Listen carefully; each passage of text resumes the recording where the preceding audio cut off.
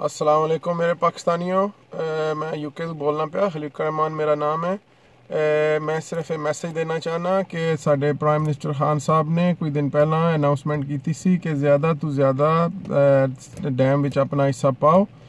ਤੇ ਸਾਡੀ ਸਾਰਿਆਂ ਦੀ ਇਹ ਕੋਸ਼ਿਸ਼ ਹੋਣੀ ਚਾਹੀਦੀ ਹੈ ਕਿ ਜਿਤਨੀ ਤੋਂ ਜਿਤਨੀ ਜ਼ਿਆਦਾ ਤੋਂ ਜ਼ਿਆਦਾ ਇਹਦੇ ਵਿੱਚ ਅਸੀਂ ਆਪਣੀ ਹਿੱਸਾ ਪਾਈਏ ਉਹ ਸਭ ਸਭ ਵਾਸਤੇ ਬੈਟਰ ਹੈ ਖਾਨ ਸਾਹਿਬ ਉਹ ਬੰਦੇ ਨੇ ਕਿ ਜਿਨ੍ਹਾਂ ਨੂੰ ਕਿਸੇ ਤਾਰਫ ਦੀ ਜ਼ਰੂਰਤ ਨਹੀਂ ਇਨਸ਼ਾਅੱਲਾ ਅੱਲਾ ਦੇ ਹੁਕਮ ਨਾਲ ਜਿਸ ਚੀਜ਼ ਦਾ ਵੀ ਉਹਨਾਂ ਨੇ ਇਰਾਦਾ ਕੀਤਾ ਹੈ, ਉਹ ਉਹਨਾਂ ਨੇ ਪੂਰਾ ਕੀਤਾ ਹੈ, ਚਾਹੇ ਉਹ ਸ਼ੌਕਤ ਖਾਨਮ ਹਸਪੀਟਲ ਹੋਵੇ, ਚਾਹੇ ਉਹ ਨੋਮਲ, ਨਮਲ ਯੂਨੀਵਰਸਿਟੀ ਹੋਵੇ।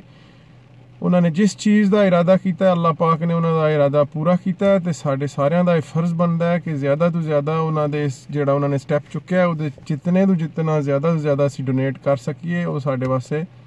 ਬਿਹਤਰ ਹੈ। ਕਿਉਂਕਿ ਪਾਕਿਸਤਾਨ ਸਾਡਾ ਹੈ ਸਾਡੀਆਂ ਆਉਣ ਵਾਲੀਆਂ ਨਸਲਾਂ ਦਾ ਅਸੀਂ ਉੱਥੇ ਰਹਿਣਾ ਹੈ।